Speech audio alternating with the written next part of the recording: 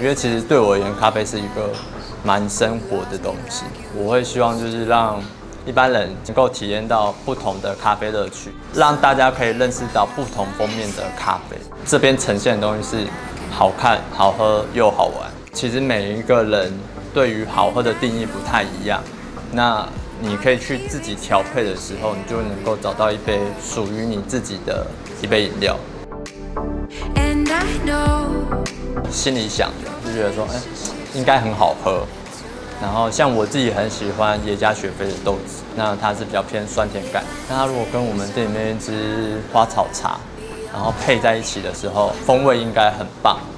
但是就是呃配出来就是让我很 shock，就是就是很难喝。难像金屋的时候，那时候也是说在试嘛，那可能就是氮气咖啡跟刨冰都是属于很快就不见的东西。对，那你要怎么样去搭配起来，然后制作成一杯饮料，那其实算是一个困难点。然后。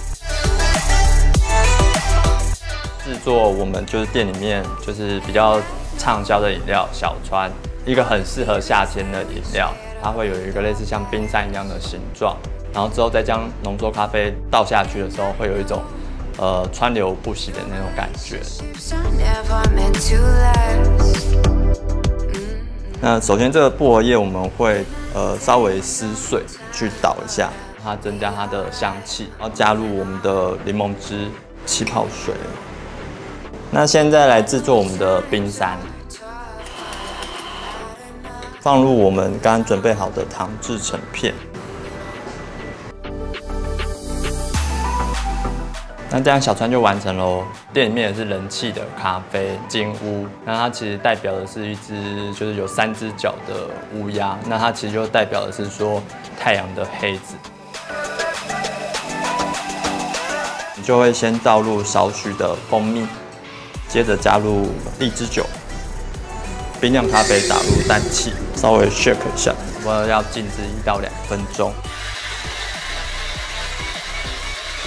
打入氮气咖啡，呃，氮气咖啡的话，其实就是冷泡咖啡。店里面的话，就差不多泡十五个钟头。打入氮气之后，其实它会带有一点像奶油的口感，更均匀的融合。好，那我们现在要制作可乐咖啡。那我们比较特别的地方是说，呃，所使用的配方豆就是属于比较呃浅焙，然后酸甜感比较好的豆子。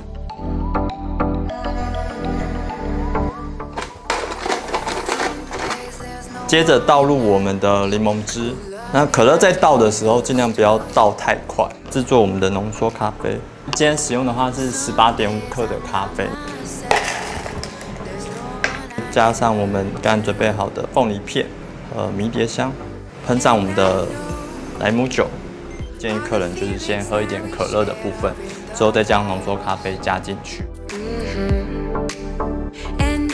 最近会比较花比较多的时间是在呃找咖啡豆，然后自己来烘焙。伊索比亚的科恰雷风之谷，那它是水洗处理，就是烘的比较浅焙。那比较能够保留咖啡豆本来的风味，喝起来会有一种柚子红茶的感觉。那稍微放凉之后会带一点柠檬皮的味道，然后它具有也是具有像佛手柑跟花香的风味，就很适合夏天的时候喝。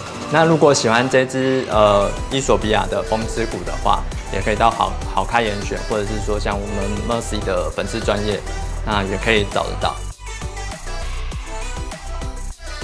像我们最近啊，就是因为夏天快到了嘛，那我们其实一杯新的饮料叫做鸳鸯 I Love You Three Thousand。